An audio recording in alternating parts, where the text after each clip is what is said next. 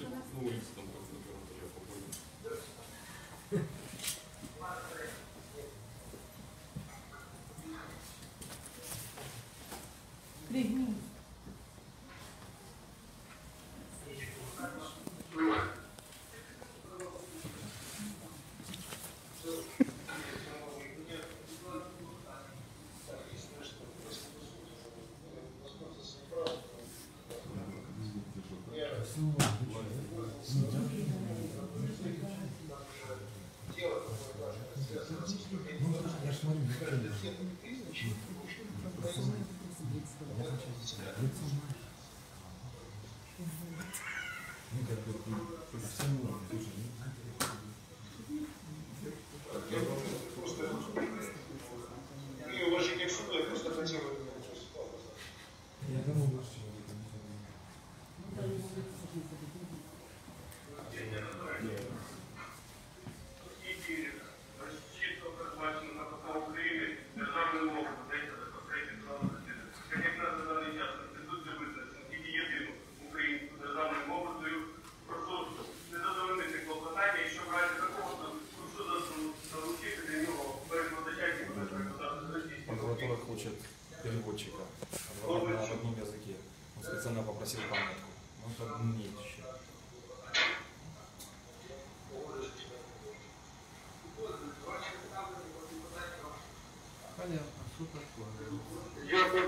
я по национальности русский, и мне было бы удобнее выражать свои мысли, как говорится, не задумываясь, что называется, э, на родном языке и, с, как говорится, э, в нормальном состоянии. Хотя прекрасно понимаю украинский язык, я родился на Украине, но я желаю говорить на родном русском языке.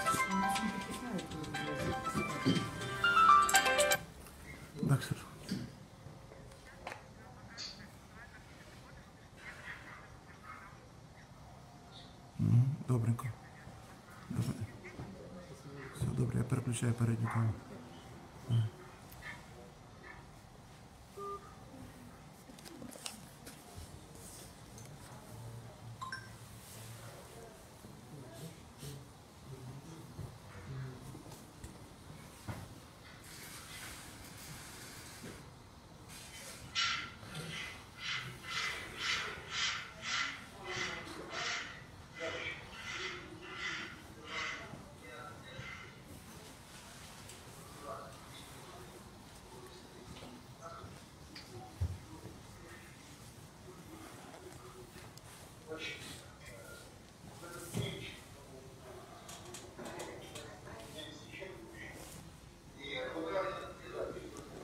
Перекладача.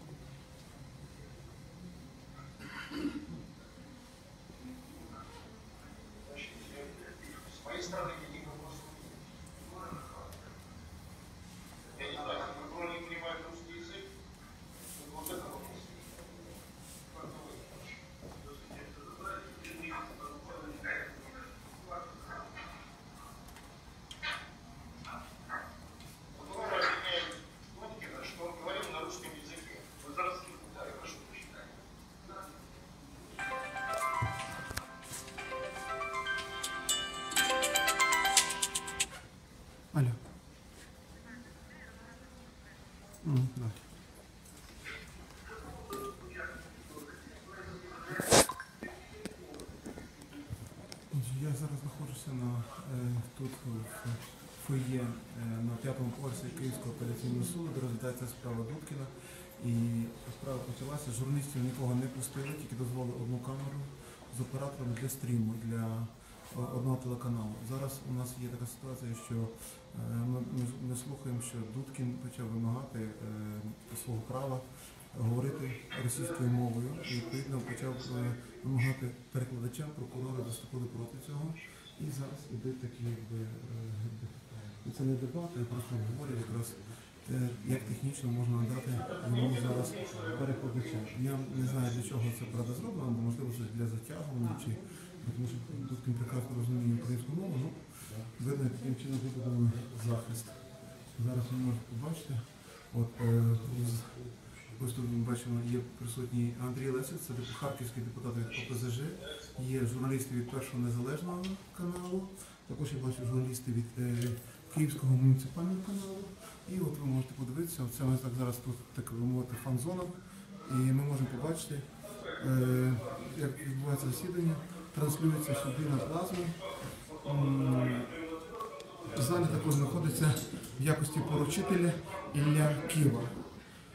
Ось, власне, поки що це, це все. Далі буду тримати вас в курсі, що буде тут відбуватися. Ну, наразі ось тільки такі події. Судове ще не почалося і вже почалися перші якби, конфлікти стосовно того, якою мовою мав би розмовляти е, підозрюваний е, пан Дудкін. Будь ласка, переключай на передню камеру.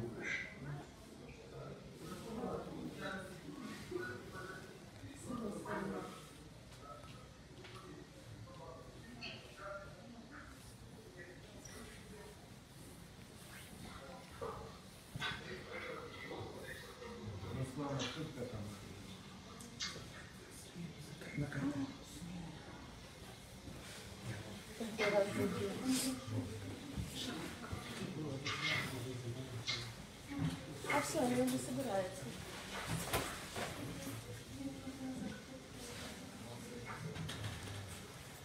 Ймовірно, судове засідання перенесуть. У зв'язку з тим, що будуть шукати для Юрія Дудкіна перекладача. До речі, хочу зауважити, тут видно на плані видно, що сьогодні вже прийшло два прокурори. Тобто на випадок хвороби одного є можливість другого прокурора підстрахувати, щоб не було дійсно, як було минулого разу, що за відсутності прокурора е, довелося переносити розгляд справи ще на один тиждень. В той час Юрій Дудкін сидить в СІЗО і е, так, бачите, вже зараз, напевно, всі встають, ніяких більше дискусій не буде. І судове засідання, напевно, переноситься на іншу дату. Далі я буду тримати в курсі саме на яку дату, і потім вже завершу стрім, можливо, вдасться нас допустять до можливо, нас допустять до Дудкіна, і він прокоментує для глядачів нашого телеканалу. Так, секундочку, я поки будемо чекати, то напевно я вже сам зайду.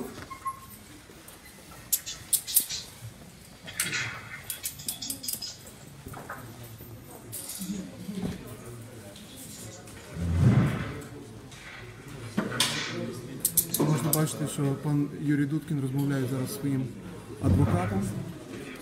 Є конвоїри готуються, судді йдуть вже, покидають. На 12 апреля перенесли, а причина вообще какая-то... На какое-то 12 безумие. апреля? На 12 апреля перенос. Безумие какое-то.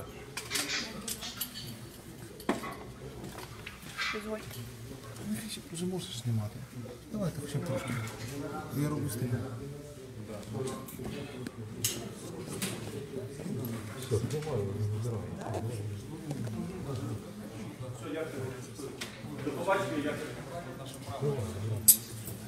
Пам'ятка наша.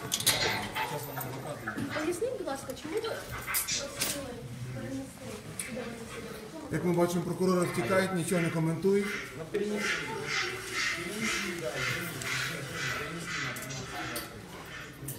Непонятно вообще.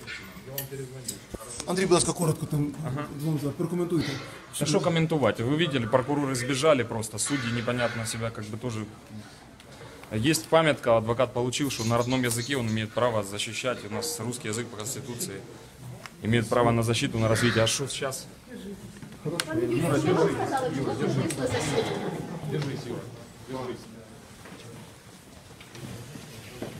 Юра, тримайся.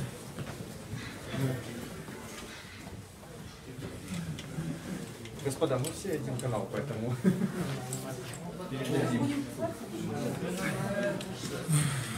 Мене стрім, будь ласка, коротко. Стрім, будь ласка, на одну хвилину.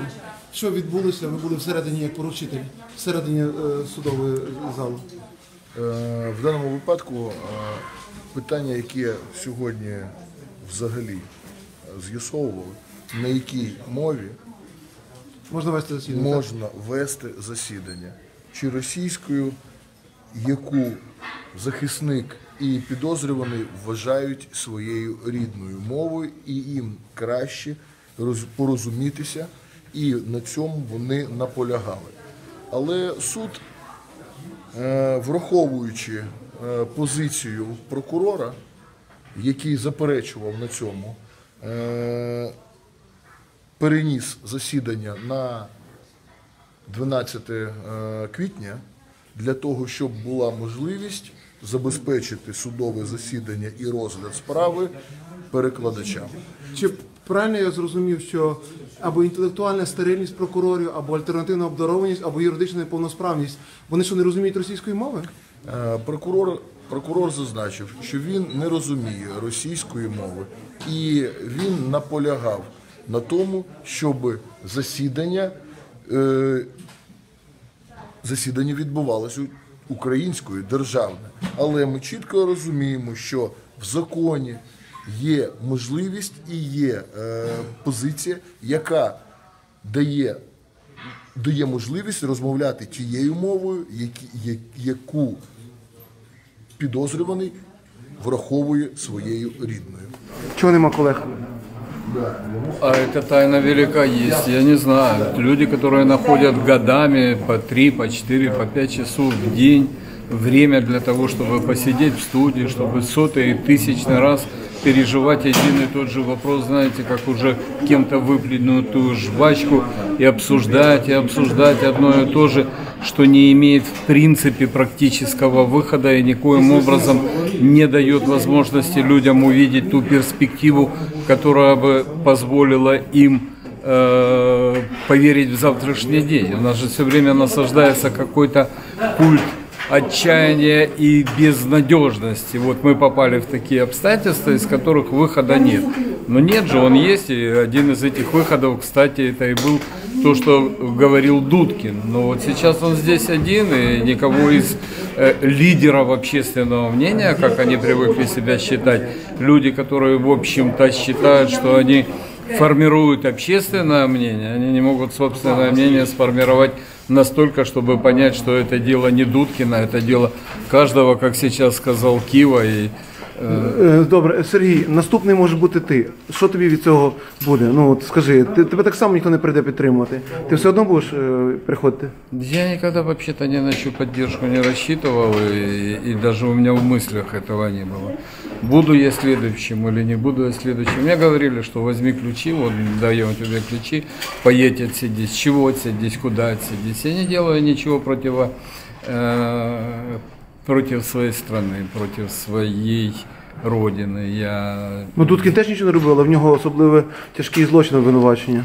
А, Знаешь, есть хорошее высказывание у Волошина, что в любой нормальной стране параллельно сосуще- вне закона существует власть криминальная и власть официальная. И в годы великих перемен они меняются местами, что в принципе одно и то же. Мы сейчас Ну от я, видим я зробив вчора возвращение- відеозвернення Да. про те, сказав година, е, місце, підтримати Дудкіна до всіх політологів. Е, Було 100 е, пер- репостів, ну тобто е, розша- розшарили. Глаз вопиющего в пустыне. Это от века так. От века. Те, которые защищают. Ну, их я ж їх мало. всіх політологів помітив, вони ж всі бачили. Тех, которые защищают их, всегда мало их единицы. Те, которые нападают, всегда сбиваются в стаи. Вопрос принципиальный, Был согласован с моим подзащитным, потому что когда речь идет о его выступлениях, которые квалифицируют как измены Родине, а это вообще как бы нонсенс, это впервые такое. Обычно человек обладает государственной тайной или какой-то посредник, передает какую-то информацию секретную, его ловят. Здесь же впервые создан прецедент, когда человек на русском языке в прямом эфире говорил свои мысли, Его, обвиняют, значит, его подозревают в измене Родине. И мы решили, что каждый оттенок, каждое слово здесь будет в этом процессе иметь значение. Ведь сейчас вопрос стоит не только о том, что сейчас его немедленно должны освободить и дело закончено. Мы должны довести дело это до, ко- до конца, до оправдательного приговора. И мы не должны отступать с самого начала. Вот, поэтому это было согласовано, было принято решение. Более того, сразу скажу по своей практике, ни разу такой вопрос не возникал. Это первый раз такое возникает, потому что эти права, естественно, написаны и даются ну, и защитнику, и подозреваемому, обвиняемому перед началом заседания. Вот. Э, Теперь, э, еще хочу подчеркнуть, что вот, э, выступать в суде, то есть суд должен вестись на украинском языке сегодня по закону. Да, я считаю это несправедливым.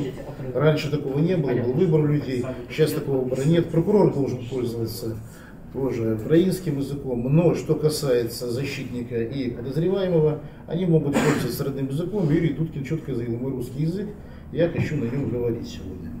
Вот, э, я вот этот вопрос судьям задал ради вежливости. Потому что обычно я его не задаю, не задаю, все нормально проходит. Но в данном случае этим воспользовались прокуроры, э, типа они не понимают русского языка. То есть в нашей стране теперь прокуроры уже не понимают в Киеве русского языка. И переводчик, по сути, нужен не мне. Я все понимаю. Я прекрасно понимаю украинский язык. Я люблю его, уважаю. Но прокуроры не понимают русский язык. Вот Создали глупую ситуацию, то есть теперь я приглашу переводчика, чтобы он прокурором на украинский язык перевел э, мои нормальные русские слова. А Які ваші подальші дії? Э, Дальше с- э, действия простые. Я значит, в ближайшее время навещу в СИЗО Юрия Анатольевича. Мы еще раз все продумаем, все согласуем. Вот. Вы должны понимать, что вот есть иллюзия, да, что вот сейчас немедленно надо что-то озвучить, лишь бы быстрее озвучить, и быстрее выпустят. Мы уже проходили, когда люди годами, там, до пяти лет э, не выпускались. Вот. Если стоит такая задача и, скажем, каким-то причинам нет возможности выпустить, его не выпустят, не выпустят ни, ни под каким соусом. В то же время я не хотел бы огульно говорить там, как бы, о всех судьях. Я знаю, что есть много прекрасных, порядочных судей. С этой коллегией я не связывал, как бы еще не сталкивался. Вопрос пока стал только о языке. Вот. То, что у меня подготовлено в жалобе, сразу скажу, э, есть все основания его отпустить потому что нет обоснованного подозрения, не э, конкретизирован прокуратурой ни один риск. И вот когда люди в себе не уверены, они цепляются за язык. Юрій Володимирович, а, сьогодні у нас 23 березня. а Засідання принесли на 12 квітня. Ну занадто великий розрив три тижні. На вашу думку, з чим це пов'язано? Перекладача будуть шукати три тижні? Ну, на самом деле я здесь э, буду исключительно говорить э, языком фактов. Я не знаю, там, допустим, напряженный ли график у судей судебных заседаний, э, поэтому э, я не могу в этом здесь видеть какой-то там э, подлог или какое-нибудь затягивание. Вот. Единственное, я вам скажу, что, к сожалению, вот нашу страну убьет существующий этот маразм. Маразм и сумасшествие, в котором мы с вами живем. Когда прокурор со стороны обвинения встает і требує е, переводчика, перекладача, бо він взагалі не розуміє української мови, вот, это я считаю идиотизмом. Вот. Э, Я не вижу, честно говоря, ничего преступного в том, чтобы сторона защиты имела право и возможность э, выполнять свою работу и присутствовать в суде, отстаивать свою позицию действительно на родном м, им языке. Для меня родной русский язык. Знаю ли я український? Да, я вивчив, поважаю, шаную э, мову свого, своей державы. Но в данном случае мы видим еще одну дискриминацию, еще один факт дискриминации в стране и еще одно э, попрание прав человека. И это целая система, которая уничтожает сегодня наши жизни. Еще раз вам скажу, Юрий Дудкин это будет в нашей стране имя нарицательное, имя оппозиции, имя тех, кто готов противостоять, обличать и бороться за свои гражданские права. Мы будем и дальше э, защищать, мы будем и дальше отстаивать позицию э, гражданина Украины, потому что сегодня Дудкин, а завтра это может случиться с каждым из нас. Поэтому мы добьемся освобождения, и мы будем бороться за справедливость. Спасибо. Андрій, як можете прокоментувати от сьогоднішнє засідання? Что здесь комментировать? Вы все прекрасно видели, я полностью поддержу Тихоненко Дмитрия Анатольевича, Юрия Владимировича Киеву, что действительно мы живем в стране какого-то маразма. Мне было сначала не по себе, когда я здесь на экране смотрел и не понимал, кто эти люди. Встали, оказывается, это прокуроры, которые не понимают русского языка. На самом деле, прежде всего, у нас в Конституции прописано, что русский язык имеет право на защиту и на развитие. Я сначала не понимал, зачем адвокат Тихоненко попросил у секретаря, дайте мне, пожалуйста, памятку. Я говорю, зачем? Вот смотри, пункт 13, я имею право на защиту своего подзащитного, они эту позицию согласовались в СИЗО, на родном языке. Для каждого тро- трое нас стоит, для нас род- родной язык русский. Но мы все понимаем украинский. Но здесь Дудкина за что судят? За то, что он разговаривал на русском языке. Здесь дело принципа. Если они считают, наши оппоненты, что они сегодня нас сделали, молодцы, типа перенесли, мне непонятно, почему там судьи, поменялась коллегия, мы не будем их сейчас действия комментировать. А решили, значит так решили. Но позиция наша, что мы будем стоять один за всех и все за одного. Победа будет нелегкая. Но стоит прогнуться только в чем-то. Вот ладно, вы хотите на украинском, будем типа на украинском, будем как вы хотите. Нет, мы будем по закону. Мы стоим здесь на страже правопорядка. Я уверен, что Юрий Анатольевич сильная личность. И правильно сказал Илья Владимир, что он будет нашим, может быть, э, символом оплота, борьбы, борьбы прежде всего за Украину, за справедливость. Украина это многоязычное, многокультурное государство. Наше преимущество, что у нас жи- живут десятки национальностей. В этом наша сила, в этом наше единство. Но когда нас разделяют искусственно по языковому принципу, я не считаю, что это правильно. Правильно будет тогда, когда нас будет что-то объединять. Идея мира, идея добра, идея позитива. Мы должны консолидировать усилия, чтобы в конце концов ну, не сеять вражду между народами. У нас общая история, у нас общее будущее, у нас общая история в Великой Отечественной войне победу мы одержали все вместе. Тогда не разбирались, на каком ты языке разговаривал. На русском, украинском, там еще так далее. Тогда выбирали так, готов за свою родину стоять до конца или нет. Так вот Дудкин и все мы сейчас плечом к плечу будем стоять до конца. За наше государство, за нашу страну и за уважение к закону прежде всего. И мне стыдно за этих прокуроров, которые в прошлый раз просто не явились, а сегодня явились, но вы видите эти чудеса, что они себя представляют. Если для них важна не суть, а на каком языке, то позор тогда всей Генеральной прокуратуре и режиму Зеленского. Можно я хочу, знаете, вот я стоял, думал, и у нас состоялся перед заседанием разговор с моими однопартийцами, с теми, кто сегодня пришел поддержать. Я немножко, конечно, был расстроен, не столько удивлен, что, к сожалению, защищать Дудкина приходят единицы, а коснется это каждого. Вот поверьте мне, вот если власть поймет, что общество слабое, общество безвольное, оно его уничтожит. Наша сегодня задача консолидировать и укрепиться, собраться воедино, вот как в такой мощный системный кулак, и не дать вот этому произволу и власть, в- в- произволу со стороны власти, ребята, сорвать и уничтожить наши жизни, наше настоящее и наше будущее детей. Следующее заседание будет происходить, происходить 12 апреля. 12 апреля найдите в себе силы, придите и поддержите того, кто не боялся говорить правду. Я знаю о том, что таких, как он, в нашей стране с позицией, которая направлена на уничтожение этого беспредела, хаоса, маразма, на восстановление справедливости и прав человека миллионы. Но мы все разрознены, сидим по вот этим квартирам, одетые вот в эти намордники и молчим. И ждем, когда придут за нами. Поднимайтесь, приходите, боритесь, соединяйтесь Покажите действительно, что мы и есть народ Украины с- со своей позицией, которую мы готовы защищать. Еще раз говорю, 12 апреля приходите, поддержите человека, который не боялся говорить правду и который сегодня является жертвой преступного, обнаглевшего режима Зеленского. Отже, як ви зрозуміли, що судове засідання перенесли на 12 квітня, і так виходить, що е, знову людина буде котуватися, і, на жаль, ми підемо, ми підемо займатися своїми справами, монтувати матеріали, е, а, а Дудкін буде сидіти в в'язниці. Ну, ось така ситуація. На цьому я завершую стрім. Тримаємося і стараємося уникати в'язниці.